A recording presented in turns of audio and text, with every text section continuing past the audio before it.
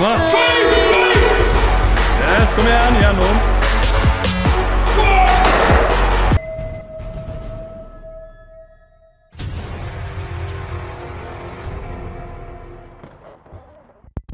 Ja, velkommen til ny YouTube-film. Nei, jeg kan ikke si det. Jeg må si den klassiske Hello, velkommen til ny YouTube-film. Ja, nå er Nå er det en ny tid. Det er rett og slett uh, Norgesdagsmann er vi ferdig med. Eh, det blir en egen video om full refleksjon der, da. Men uh, akkurat denne videoen her, nå skal vi tenke fremover. Og nå er det rett og slett road to 360. Det vil si at jeg har planer om å løfte 360 kg markløft. Jeg skal gjøre alt jeg kan for å klare det løftet. Og det er egentlig et delmål. Hvis det går noenlunde knirkefritt i denne oppkjøringen her, så har jeg lyst til å tørre å sette meg enda større mål. Men før vi går inn i på en måte hvordan jeg skal få det til, og, og veien videre, så er det veldig viktig at dere som ser på kanalen, abonnerer og liker og kommenterer og viser meg god støtte. Og spesielt når jeg skal ta opp en liten sånn det er at norgesrekorden i markløft er 400. Og på denne kanalen så har jeg bestemt meg for å ikke snakke så veldig mye om doping. Det syns jeg på en måte bare Ja, det skaper mer negativitet enn positivitet. For vi har uansett ikke noen løsning. Jeg har en sånn holdning at hvis du ikke har en løsning, så er det ikke vits å klage hele tiden. Og strongman og mange andre idretter, eh, der er det dessverre doping i toppnivå. Og spesielt strongman der, eh, og kroppsbygging, det, det er ikke testet idrett. Eh, og det som er da, det er at å kunne verifisere at noen er rein, så krever det mer enn én test på konk-dag. Det krever ganske mange tester for å kunne sjekke hele året. For det at Sånn er det bare. Så jeg er til og med skeptisk til styrkeløft, jeg. Jeg syns ikke testprotokollen er god nok. Men det er en annen diskusjon. Uansett, jeg Dere får velge å tro eller ikke, men jeg kommer alltid til å være rein. Jeg har vært rein i hele karrieren og kommer alltid til å være det videre. Og da er det litt sånn i denne sammenheng viktig at alt jeg klarer i markløft For meg, det handler jo til syvende og sist bare om å bli en bedre versjon av seg sjøl og sette seg et mål og klare det. Og det kan man ta med seg videre i livet. Sant? Hvis du jobber for å klare et tall i, på trening, så har du bevis for deg sjøl at du klarer målene dine, og da kan du ta det med deg i andre ting, sånn som jobb og familieliv og venner og ja. Så i hvert fall eh, ikke liksom grill meg hvis jeg ikke klarer å løfte like mye som eh, noen andre. Eh, jeg sammenligner meg sjøl med kall, kall, meg et eple, da. Så sammenligner jeg epler med epler, og ikke med at eple mot en appelsin. Og det er litt appelsiner der ute. Uh, og jeg har ikke tenkt å anslå hvem som er appelsin, og hvem som er epler. Men i hvert fall, jeg er veldig stolt av hva jeg har oppnådd. Jeg har lyst til å inspirere andre da, til å vise reisen min, og til å fortsette å jobbe videre. Jeg har jo noen forbilder da, når det kommer til mark. I testet idrett så er jo norgesrekorden i markløft conventional. Det er bare det som er mark. Sumo fins, det er ikke. Så det er jo tidligere verdensmester i styrkeløft, Carl Ingvar Christensen, som har løftet 390 kilo. Eh, og de fleste som vinner NM i dag, ligger på rundt 370 i testet idrett. Eh, og det er på en måte det jeg forholder meg litt til. Eh, og så selvfølgelig har jeg en drøm om 400. Men det er ikke et mål, det er en drøm. Altså, jeg drømmer om huset i Vegas òg, holdt jeg på å si. Så jeg må ta ett steg om gangen. Nå har jeg 351 som maks, og så jobber vi derfra. Så vær med på denne reisen. Dette er første episode av Road 360. Så jeg kommer til å dele litt uh, underveis hvordan jeg skal løse det. Men i hvert fall i dag så er det første tunge markløftøkt. Jeg har et moment nå fra Norges sterkeste. Jeg gjorde en femmer på 300 med grepet låst rundt baren. Eh, det var litt sånn spesifikt eh, på NSM at eh, tommelen måtte være an i baren. Men jeg tørde ikke ta noen sjanse. Jeg knøt tommelen rundt baren. Som sånn personlig gymløft og sånn, så kommer jeg til å holde med figure eight straps uten å tvinge tommelen rundt bare når jeg skal selvfølgelig prøve å ha en aning. Så jeg blir ikke så veldig nøye på det, så jeg håper jeg får litt mer moment der. Og så har jeg Jeg er ganske tung nå, jeg er ganske sterk. Så vi får se hvordan det går. Uansett så er det 14 dager siden NSM. Og da pleier jeg å være sterk hver 14. dag. Men så dere hører jeg er litt nasal ennå. Jeg har vært syk lenge. Sånn skikkelig syk òg. Så vi får bare se hvis jeg krasjer nå under oppvarmingen, at det, det ikke er noe power, så må jeg egentlig bare begynne på begynne på et nytt program. Jeg må begynne helt fra scratch, da. Og da må jeg begynne med volum.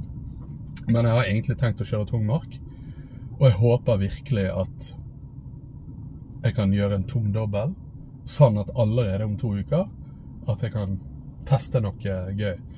Og hvis ikke det går, så ligger jeg meg helt åpen og flat og må bare Da kommer jeg til å presentere et mer langsiktig program som gjør at 360 kommer til å gå uansett. Så nå bare tester jeg og ser om jeg kan bruke momenter fra NSM. Så det var det. Følg med. Da er ankommet maksen. Nå skal jeg pumpe litt eh, overkropp, og så blir det tung mark. Så, men jeg har lyst til at dere skal hilse på Torbjørn Tøen etter Norges seksmann. Nå står han her. Hallo. Ristet uh, ribbebeina, eller brystbeina, Ja, midt på her. ja, på Norges sterkeste. Ja. Og det er to uker siden. Ja, Og så står du her og trener. ja nei da eh, Går eh, relativt bra nå. Du har litt champion-mindset. Ja, jeg skal ikke si at eh, det gikk noe utover siste øvelse. Eh, men jeg ble, Ja, jeg ble litt. Ja, jeg ble litt, for, ble litt sånn forstyrra og tok litt pusten fra meg i loading. da. Ja. Men du mast én ting, da. Du mast noen pils på, på kveldingen. Ja, det gjorde jeg. du måtte på legevakten og sjekke Ja, det gikk Det var litt sånn kortpust etterpå. Eh, litt sånn ubehag, men på kvelden eh, så ble det fort eh, veldig mye verre. Så da ble det tur på legevakten i 11-tiden eller noe sånt. Mye venting, så vi var vel tilbake i halv fem på morgenen. Ja, Ja, det var ikke Og mye veldig, så, eh, veldig lang natt. så lang tur hjem. Ja, det, du ble herdet. blir det.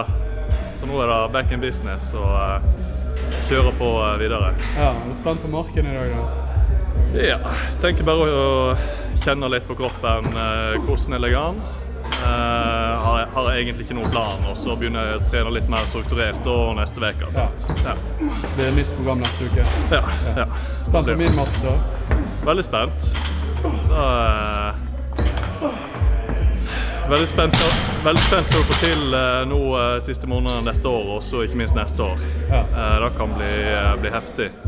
Det tror jeg. Nå er jo bergensgutta på bra moment, så det blir spennende å følge alle sammen. Så Mm. Ja, absolutt. skal vi på. Det var noe fleip for det anledningen. Ja, må jo ta håret bak av og til. Du skulle spurt meg for et par dager siden. Du har fått så langt hår, hva skal jeg gjøre, bro? Ta sleik.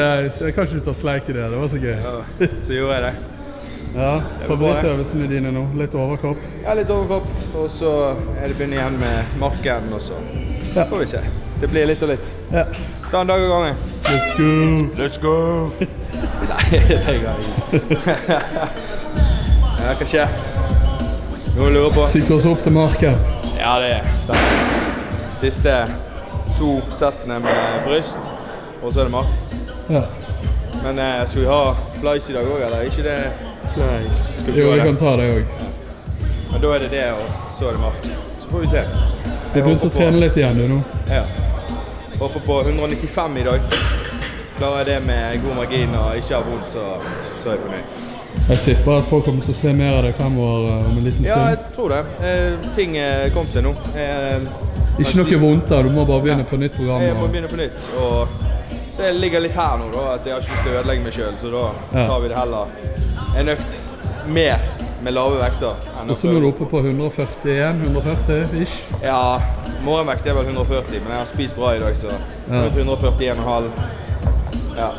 Men eh, det går opp og ned. Jeg har jo variert 2-3 kilo eh, hver uke nå, opp og ned. Men det kommer litt an på hvor mye jeg jobber, hvor mye væske jeg får i meg. Og, For det har vært mye jobb. ja, mye jobb, mye stress. Så det har vært eh, ja. Ikke vits å snakke om det. Vi er her nå for å kose oss. Ja, Kjekt å se deg igjen. Likeså.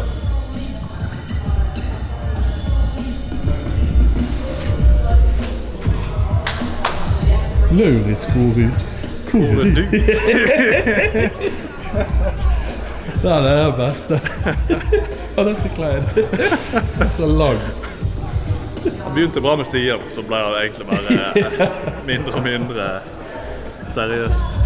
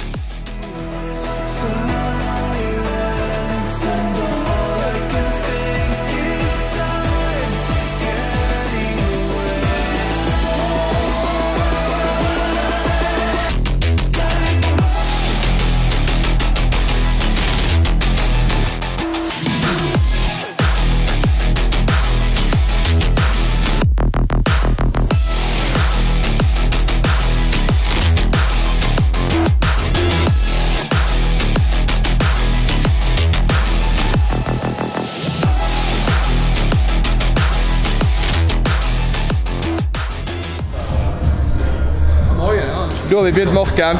Nå har de endelig fått på seg denne gøye drakten. Så nå begynner det. Det er 195, nei, 220 på stangen. Let's go. Første, første rappen med drakt er alltid verst. Da, må man gå inn i drakten, så gir han ikke så mye hjelp heller, for han er ikke så stram nå. Og så når jeg har gått den inn, da blir han stram, og da, så da strammer vi stroppene mer, og da, da blir det bra. Så Nå er det helt jævlig. Nå er det løftet. Hold på.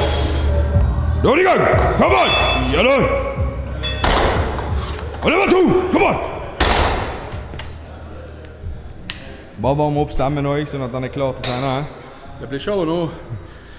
Åh, digg å trene skikkelig igjen. Jeg har vært dødsjuk i to uker, altså. Det lukter baby her. Ja, Big baby. Nei, baby. baby. Bare baby. Hva er det du har på deg? Ja, litt pudder. Ja. Ja.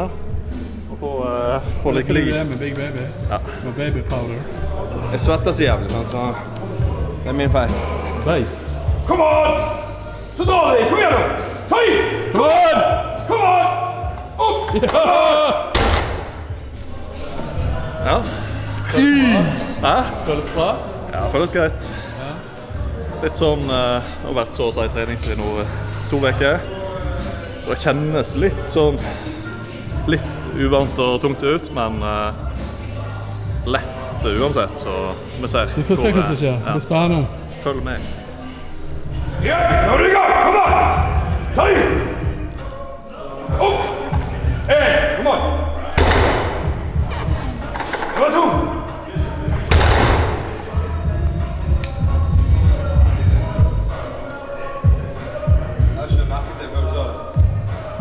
Få se en tunge, da. Kom on! Come on! Ta i! on! Kom igjen! Kom igjen! Yes!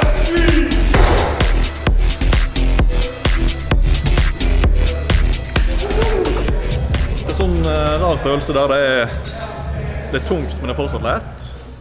Hvis du skjønner? Ja. Ja. Altså det er tunge vekter, men jeg føler ikke jeg tar så mye i. ja, men det kommer nå. Ja. Survival-instinktet når vi hiver på litt mer kilo nå, da kicker det. ja. 280 kilo! Kom igjen! Kom an! Kom igjen!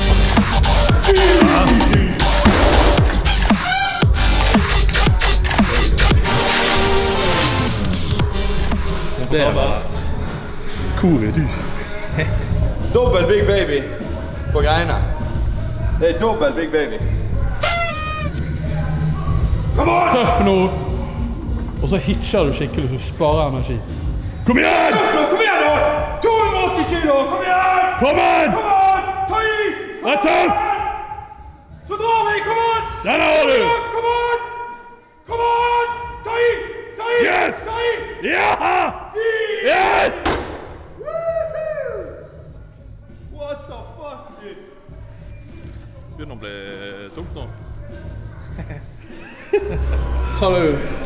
Blir bare større og større, med han når han skal inn i den samme drakten.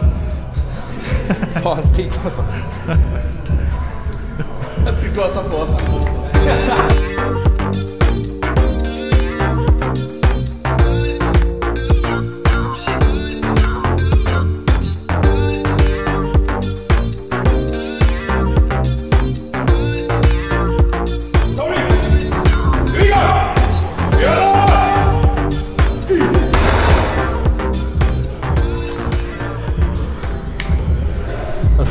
Veldig mange drømmer om. Dette har du gjort to ganger før. Nå skal du videre til en. Dette er veien videre til noe større. Kom an. Nå må du ta i! Kom an! Vi er i gang! Denne har du! Kom an!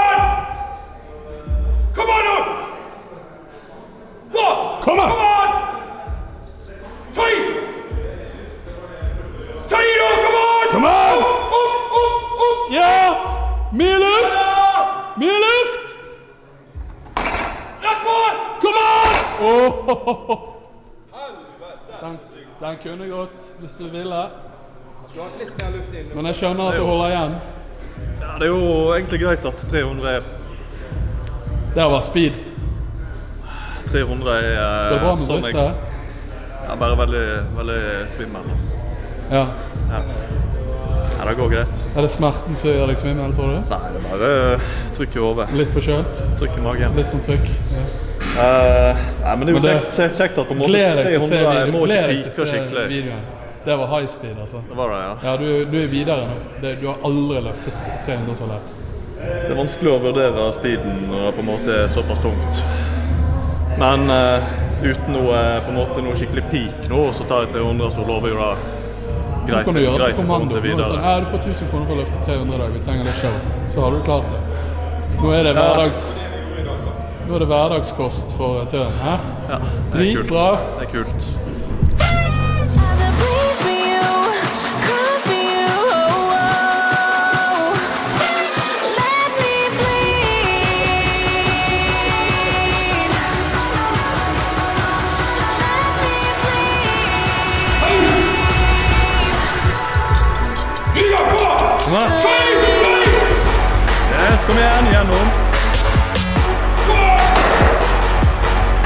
Igjen. Igjen, da. Yes.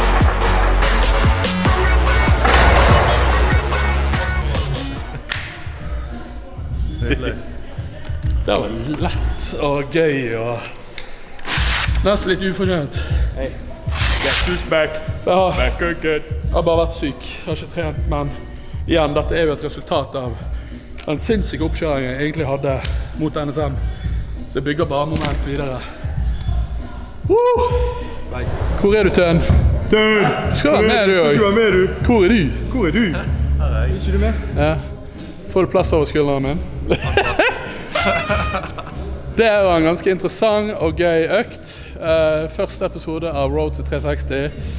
Så følg med fremover. Eh, og ikke minst Tøn.